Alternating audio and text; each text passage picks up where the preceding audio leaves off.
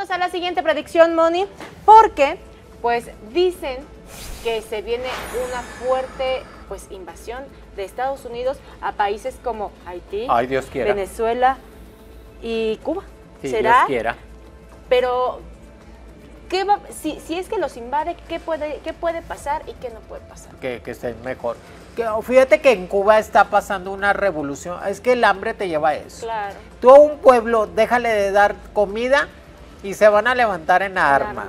Porque el hambre no hay quien lo aguante. Y Fidel Castro en su momento lo supo hacer, no tan bien, pero los mantenía. Les daba sus dos, tres kilos de arroz, la libreta que ibas y que te daban eh, la comida. Es que lo quiso ser el papá y darles todo gratis y eso estuvo mal. No.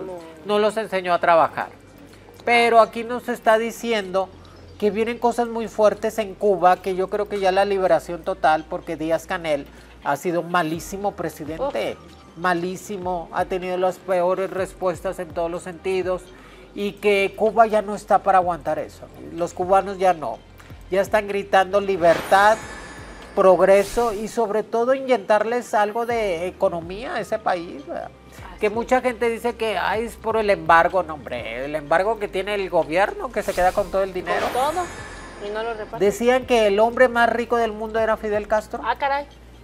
Y Decían pues, que las cuentas bancarias que tenía en Suiza, en el Vaticano y en las Islas Caimán eran grandísimas. Era el país, era el hombre más rico del del mundo. Pues mira, Pues tenía una isla completa, ¿no? para él solito, imagínate. Y Raúl Castro, pues dicen que ya se murió y que Díaz Canel ya no sabe qué hacer y que Estados Unidos nomás está, eh, Donald Trump nomás está en la mira a ver a qué horas. A ver, ¿en qué momento entra? Y Haití destrozado Pues, totalmente por qué está viviendo ahorita. Haití de la violencia y la inseguridad, lleno de pandillas.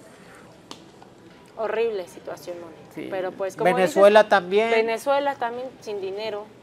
sin dinero. O sea, decían que cada vez que la- los venezolanos pisaban Venezuela se hacían millonarios por tanto oro y petróleo que había. Es lo que decían. Y ahora se quedaron sin hablando solos. Imagínate de tener prácticamente todo. a Yo creo que está, abandonar su está, país está haciendo una estrategia de Estados Unidos para volver a ser el líder mundial. Puede ser. Invadir países que realmente no tienen la solución, que los que están cerca, como Cuba, Venezuela, Haití, para volverlos a levantar porque están muy jodidos. Pues ojalá. Dios si, quiera, si mi eso es la quiera. estrategia, ojalá. Sí. Pero pues bueno. que nos invada. Yo cuando estaba ahí en Cuba decía, ay, ahí viene Bush. No, no vino, nunca llegó el Bush, Nunca. nunca. Che Bush.